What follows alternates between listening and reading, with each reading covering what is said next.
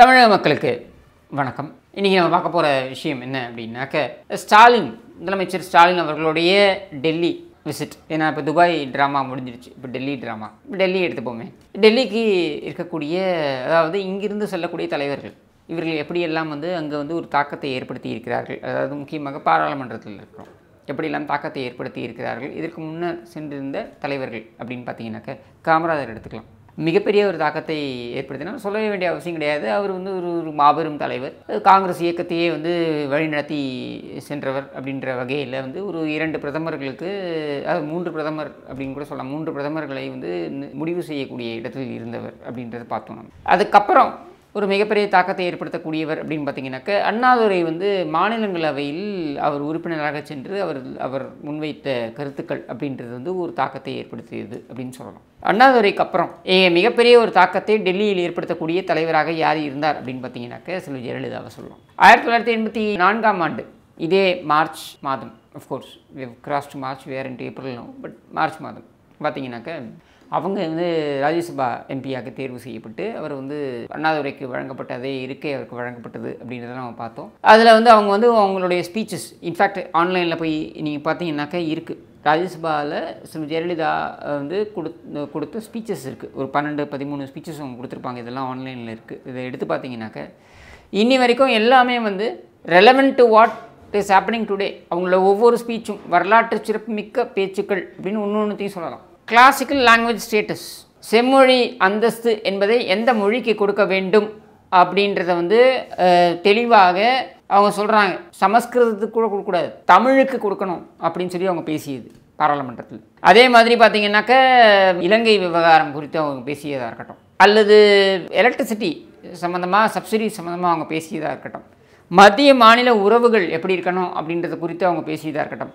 காஷ்மீர் விவகாரம் குறித்து அவங்க பேசியதாக இருக்கட்டும். த்ரீ செவன்ட்டிக்கு எதிராக அவங்க பேசியிருக்காங்க. இதையெல்லாம் வந்து பார்த்திங்கன்னா துணிச்சலாக பேசக்கூடிய ஒரு தலைவராக செல்வி ஜெயலலிதா. அப்போ செல்வி ஜெயலலிதா டெல்லி பெரிய ஒரு தாக்கத்தை ஏற்படுத்தினாங்கன்றது அந்த காலகட்டம் போய் முதலமைச்சராக இருக்கும்பொழுதாக இருக்கட்டும் அல்லது எதிர்க்கட்சி தலைவராக இருக்கும்போதாக இருக்கட்டும். அப்பொழுது எல்லாமே பார்த்திங்கனாக்க அவங்க முன்வைக்கக்கூடிய ஒவ்வொரு முறை அவங்க டெல்லிக்கு போகும்போதும் ஒரு மிகப்பெரிய ஒரு அதிர்வலையை ஏற்படுத்தும். அரசியல் வானில் ஒரு அதிர்வலையை ஏற்படுத்தும்னு சொல்லலாம். எந்த அளவுக்கு அப்படின்னாக்க அவங்க தொண்ணூற்றி எட்டு வாஜ்பாய் அரசாங்கத்துக்கு ஆதரவு வெளியிலிருந்து கொடுத்து கொண்டு பொழுது அல்லது அவங்களுடைய அமைச்சர்களும் உள்ளே இருந்தாங்கன்னு வச்சுப்போம் அப்போ வந்து அவங்க ஒவ்வொரு முறை டெல்லி வரும்பொழுதும் ஒரு மிகப்பெரிய ஒரு பேச்சு பொருளாக அது பார்க்கப்படும். அதுக்கப்புறம் பார்த்தீங்கன்னாக்க அவங்க அந்த ஆதரவு வாபஸ் வாங்குவதற்கு அந்த டீ பார்ட்டி சுப்பிரமணிய சுவாமியோட வந்த பொழுது அந்த அந்த காலகட்டம். இதில் வந்து ரொம்ப முக்கியமாக பார்க்க வேண்டியது என்ன அப்படின்னா அவங்க வந்து பேசியிருப்பாங்க. டெல்லியில் ஒரு நைன்டீன் நைன்டி நைன் இந்த இந்த ஆதரவு வாபஸ் வாங்குவதற்காக அவர் வந்த அந்த காலகட்டத்தில் அவங்க நைன்டி நைனில் அவங்க பேசியிருப்பாங்க. காலேஜில் அவங்க பேசுகிறாங்க ரொம்ப தெளிவாக சொல்லுவாங்க. என்னென்னா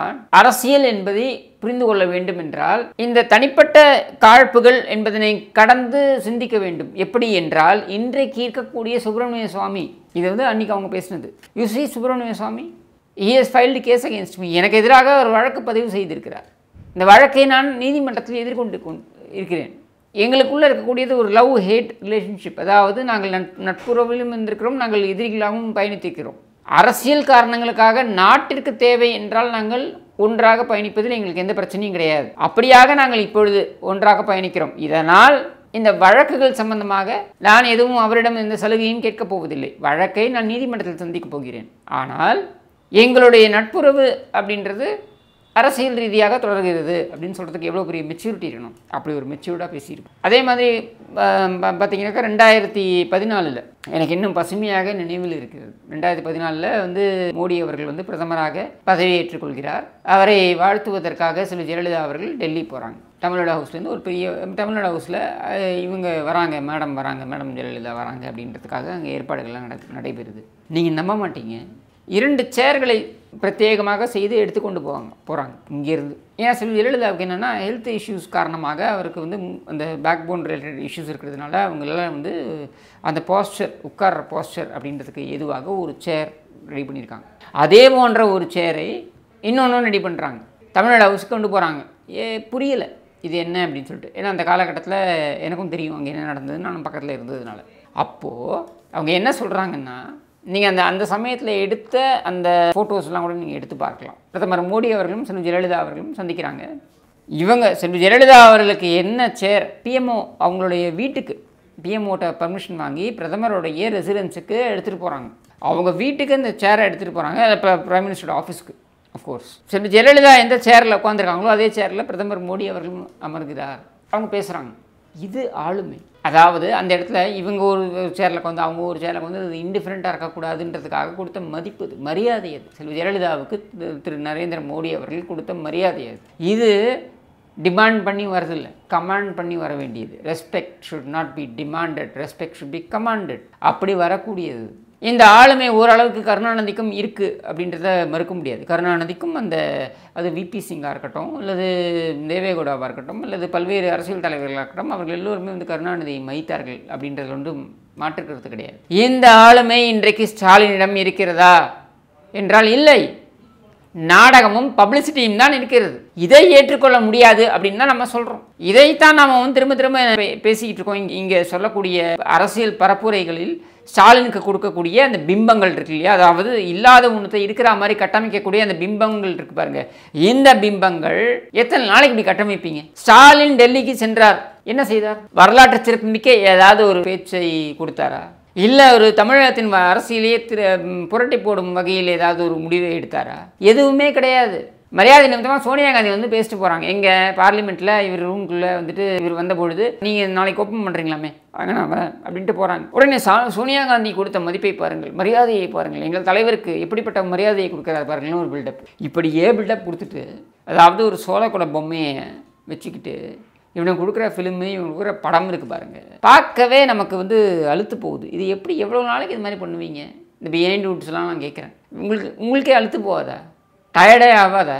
இந்த மாதிரி வந்து ஒரு ஒன்றுமில்லாத ஒரு வெத்து வேட்டுக்கு எவ்வளோ நீங்கள் பில்டப் கொடுப்பீங்க? திரும்ப திரும்ப அதே அறதப்பழைய கச்சத்தீவை மீட்க வேண்டும் என்பதற்காக கோரிக்கையை பிரதமரிடம் கொடுத்தேன். கச்சத்தீவை எதற்காக கொடுத்தீர்கள்? யார் கொடுத்தது? இந்திரா காந்தி கொடுத்தது கூட உங்கள் அப்பா இருந்தது. இல்லைன்னு மறுக்க முடியுமா? இந்த கச்சத்தீவை பற்றி அந்த அம்மா கடைசியில் கதறிச்சு சட்டமன்றத்தில் சில ஜெயலலிதா கடைசி அவங்களோட கடைசி உரையே கச்சத்தீவு என்று சொன்னானே நீங்கள் எல்லாம் இந்த சட்டப்பேரவையிலிருந்து வெளியே ஓடி விடுகிறீர்கள் அப்படின்ட்டு. உண்மை? கச்சத்தீவில் துரோகம் இழுத்தது நீங்கள் இன்றைக்கி எதுக்காக போய் டெல்லியில் போய் நீங்கள் வந்து போய் சொல்கிறீங்க நாங்கள் கோரிக்கையாக வைக்கிறோன்ட்டு?